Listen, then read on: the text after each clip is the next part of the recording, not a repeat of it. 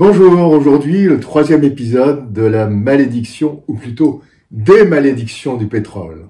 Nous sommes en 1989, après un an après cette boucherie qu'a été la guerre Iran-Irak.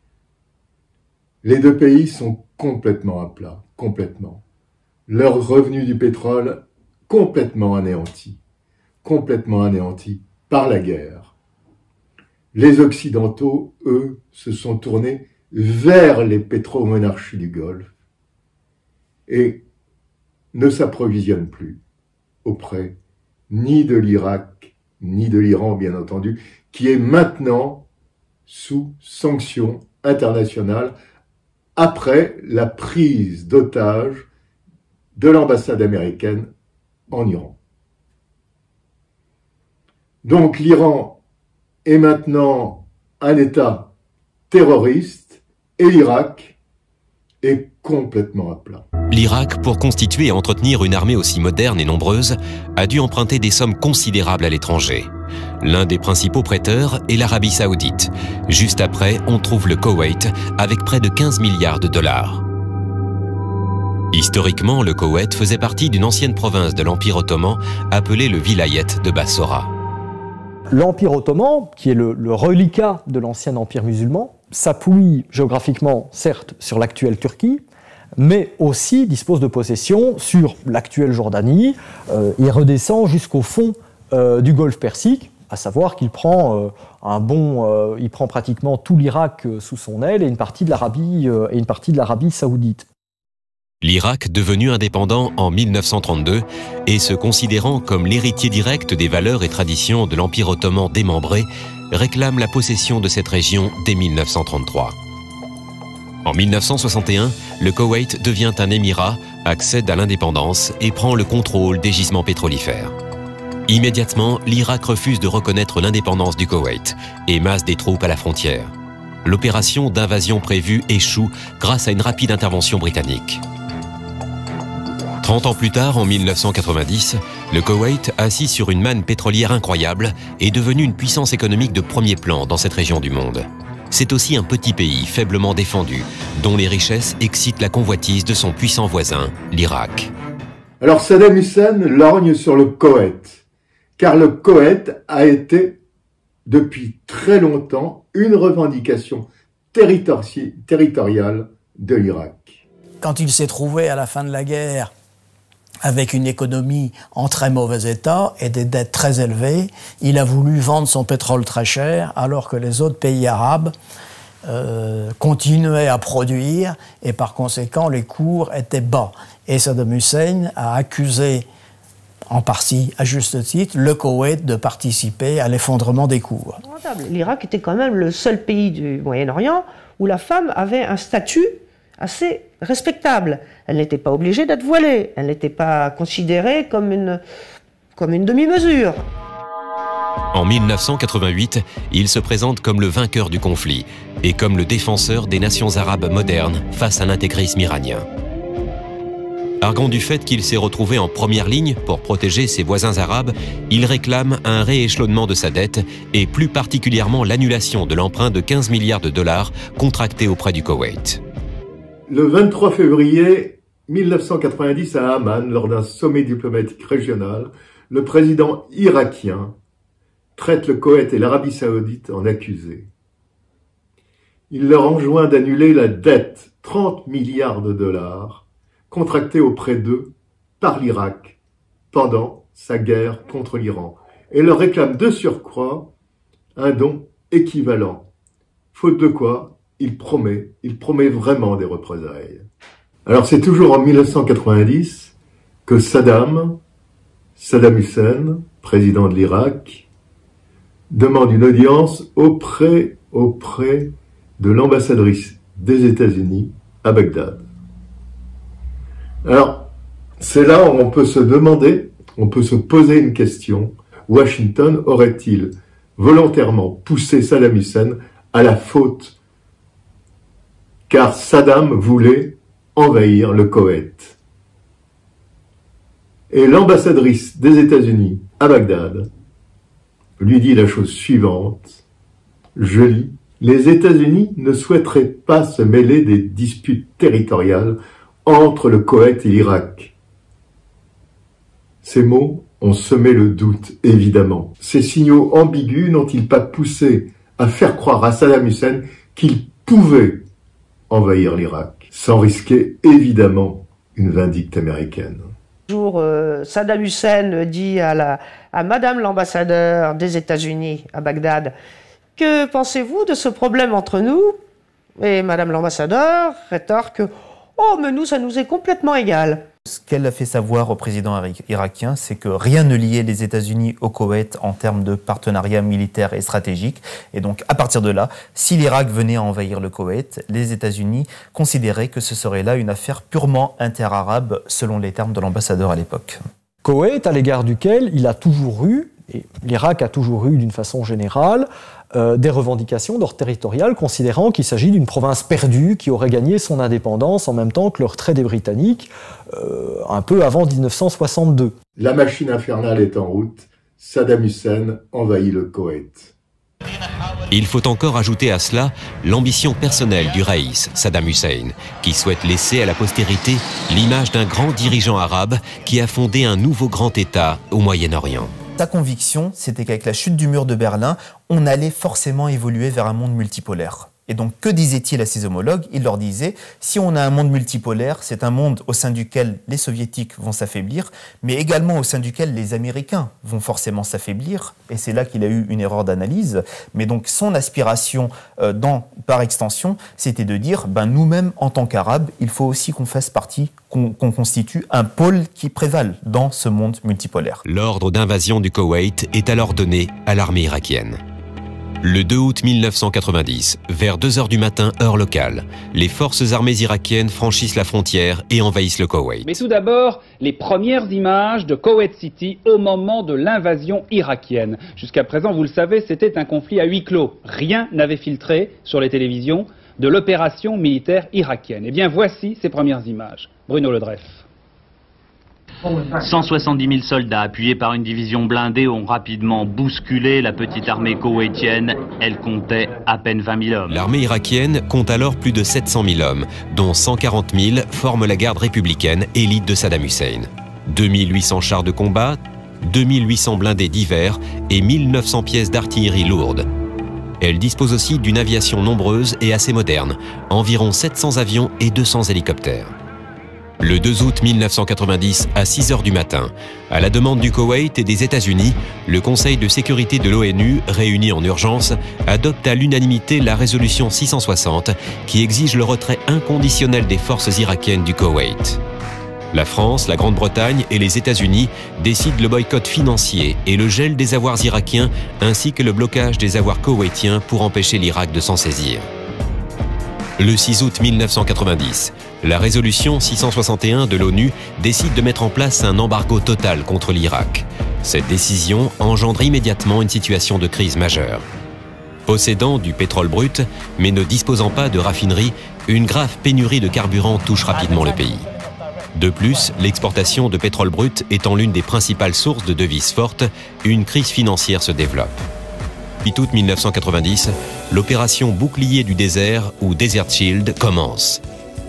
L'opération Bouclier du désert a, dans un premier temps, consisté à amener des troupes pour euh, euh, empêcher euh, l'armée irakienne d'aller plus loin, parce qu'on imaginait que Saddam Hussein puisse avoir un certain nombre de, de visées sur, sur d'autres pays. Je vous rappelle que les puits de pétrole, les principaux puits de pétrole séoudiens se trouvent juste au sud du Koweït.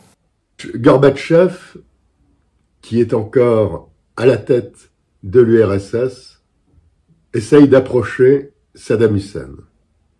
Mais l'URSS n'a plus la force ni la volonté d'imposer au Conseil de sécurité une motion. L'URSS est finie et elle est à genoux. Après la chute du mur de Berlin, c'est fini. Les premiers avions gros porteurs américains arrivent à Daran, en Arabie Saoudite, et commencent à décharger hommes et matériels. Le 25 août 1990, le Conseil de sécurité de l'ONU autorise l'emploi de la force pour faire respecter l'embargo. Le 29 août, l'Irak annonce l'annexion définitive du Koweït qui devient la 19e province irakienne. Alors quant aux Français, ils n'oublient pas eux aussi qu'ils ont soutenu le dictateur irakien. Mais l'intransigeance de Saddam Hussein les pousse à soutenir Washington. Doit-on ou ne doit-on pas exécuter les résolutions conformes au droit international En pleine phase ascendante du conflit, Jean-Pierre Chevènement, ministre de la Défense, démissionne de son poste pour marquer son opposition formelle à la participation de son pays dans la guerre du Golfe. Selon lui, un ministre, ça ferme sa gueule ou ça démissionne. Alors un ultimatum est lancé. Il finit le 15 janvier, 15 janvier 1991, à minuit. Le 24 décembre 1990, Bagdad déclare qu'en cas de conflit, Israël sera son principal objectif. Le 9 janvier 1991, le Sénat américain autorise George Bush à lancer une opération militaire dans le Golfe. En France, le 16 janvier 1991 au matin, l'Assemblée nationale et le Sénat approuvent la décision de François Mitterrand d'intervenir militairement dans le Golfe. Les états-majors de la coalition vont largement surestimer la qualité des matériels irakiens et surtout le degré de combativité des troupes irakiennes. La garde républicaine de Saddam Hussein, notamment, est cataloguée comme une unité d'élite équipée des meilleurs matériels et considérée comme redoutable de par son entraînement et sa motivation tous les médias à l'époque présentaient l'armée irakienne comme étant la quatrième armée la plus puissante du monde. Donc dans ce, dans ce contexte-là, Saddam Hussein avait toutes les raisons de se dire voilà, tout le monde va être dissuadé à mon encontre et personne n'osera s'en prendre à mes intérêts. Pour Saddam Hussein, ses 5000 blindés et ses 700 000 fantassins, le Koweït est la 19e province de l'Irak.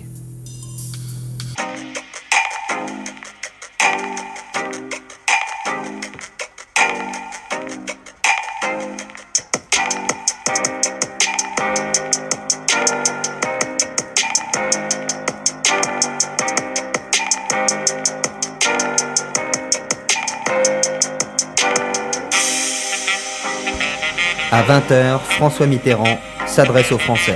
Depuis ce matin, la crise internationale est entrée dans une phase décisive. Depuis ce matin, le délai accordé par les Nations Unies à la réflexion et autant que possible au dialogue entre ceux qui pouvaient infléchir le destin est maintenant dépassé sauf événement imprévu, donc improbable. Les armes vont parler. 17 janvier, Arabie Saoudite, base aérienne de Daran. À 1h40 heure locale, c'est la première mission sur l'Irak. Les pilotes allument les turbines de leurs chasseurs bombardiers F-15, F-16 et Tornado. Sous ses ailes, chaque appareil emporte plus de 12 tonnes de bombes. Les cibles ont été soigneusement repérées. Outre le palais présidentiel de Saddam, les centrales nucléaires, les usines chimiques, les centres de communication et les sites de lancement de missiles Scud. Objectifs qui pour la plupart sont concentrés sur Bagdad et sa banlieue. 8, 7, 6, 5, 4, 3, 2, 1, 1. Deux heures. Au large des côtes irakiennes, la flotte US lance des salves de missiles de croisière, les fameux Tomahawks.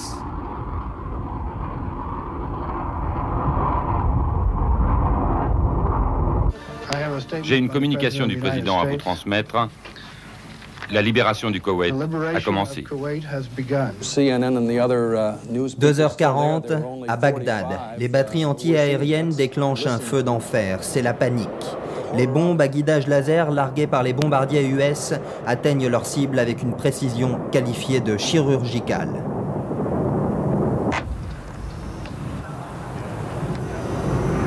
Un pilote US de retour de mission témoigne. C'était l'une des démonstrations de feux d'artifice les plus étonnantes depuis les fêtes du 4 juillet, il y a des années et des années. C'était fantastique. Bagdad était illuminé comme un arbre de Noël. Les États-Unis ont tiré une leçon de leurs aventures vietnamiennes. Nous, journalistes, comme nous étions au Vietnam, nous pouvions aller où nous voulions. C'est ce que j'ai fait à chaque fois que je suis parti au Vietnam. Vous n'aviez qu'à dire, voilà, je veux aller sur tel front avec telle unité, vous y alliez. À partir de 1990, à partir de cette guerre du Golfe, ça a été fini. Le contrôle était total sur les informations. du côté de Saddam, on veut également visionner ce que vous avez fait comme film. Le contrôle de l'info est absolument total. Jamais aucune guerre n'a été autant couverte par les médias. Venus du monde entier, les journalistes couvrent en temps réel les différentes phases des opérations militaires. Le début de l'opération est lancé en direct sur CNN. Partout sur la planète sont diffusées les images, complaisamment fournies par les autorités américaines, des frappes chirurgicales, des bombardements et de la supériorité aérienne alliée. Avec le général Schwarzkopf et tout ça, ils faisaient faire des espèces de conférences de presse pour nous montrer les belles images euh, les images de guerre. Vous voyez, on a, regardez là, là, on est à Bagdad, ça tire et hop, good shot. Et là, les, journalistes américains qui applaudissent, j'étais très choqué. On regardait ça comme une première de, cinéma. Et euh, bon, les journalistes français, heureusement, n'applaudissaient pas. L'opération Tempête du désert est en marche. Et rien ne pourra l'arrêter. Saddam nous a entraînés dans la guerre, nous irons jusqu'au bout et nous gagnerons. Notre stratégie à l'égard de l'armée irakienne au Koweït est simple, nous allons la couper puis nous allons la tuer.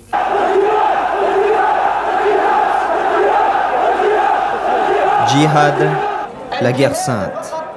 Dans tout le Maghreb, l'annonce du déclenchement de l'opération Tempête du désert soulève l'indignation et la fureur. En Algérie, des centaines de volontaires se présentent pour lutter aux côtés de Saddam Hussein. La haine de l'Occident monte.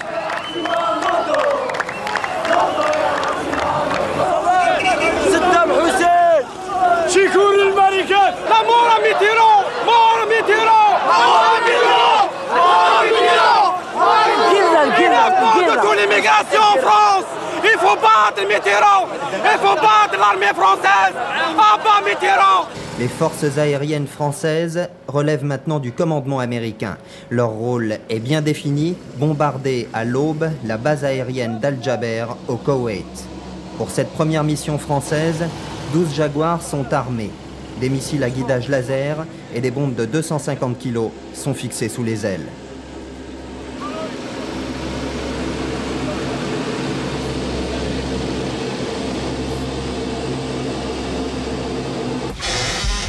5 heures. Dernier briefing. Le plan d'attaque a été minutieusement étudié. Chaque pilote connaît sa cible avec exactitude.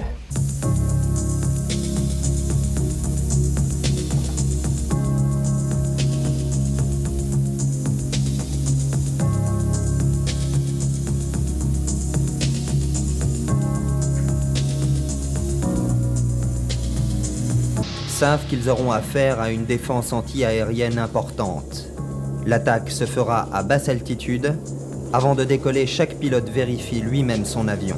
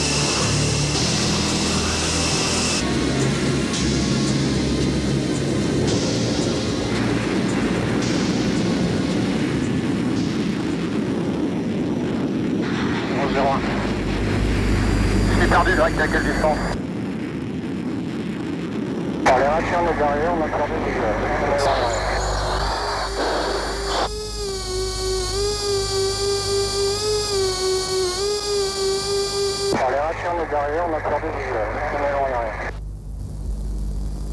Ok, 01 bingo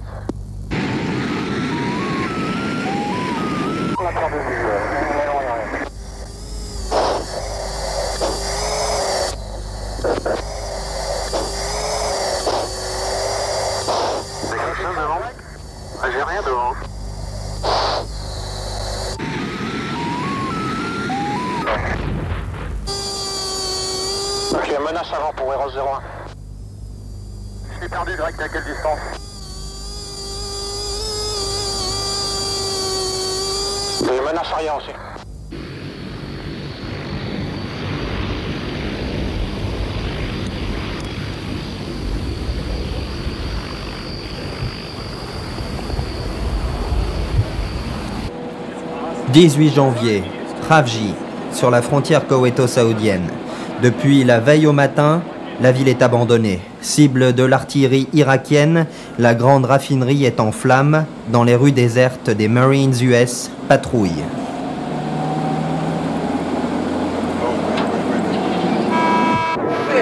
Les bombardements alliés continuent avec la même intensité sur l'Irak et le Koweït.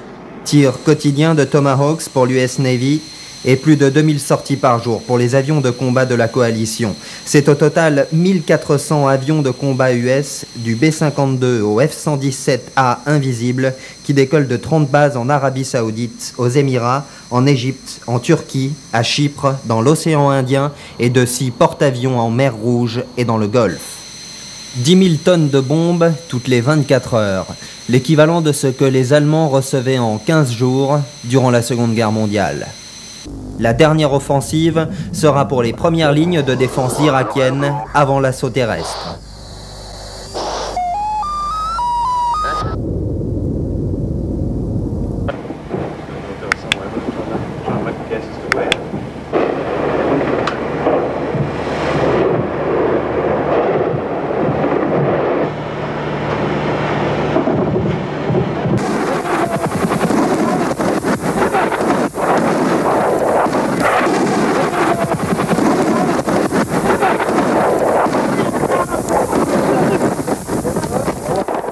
La coalition, c'est aussi les petits contingents, comme celui du Qatar. Ces hommes viennent d'un émirat du Golfe. Ils sont aujourd'hui stationnés à quelques kilomètres de la ville de Khavji, point de mire de l'artillerie irakienne depuis le début des hostilités. L'état-major des forces alliées a prévu de les engager aux côtés des Saoudiens dans les premiers combats terrestres. Politiquement, c'est aux forces arabes d'intervenir en premier. Les blindés saoudiens encerclent les positions irakiennes appuyées par les hélicoptères de combat américains. Ils ont pour mission de détruire les T-55 irakiens.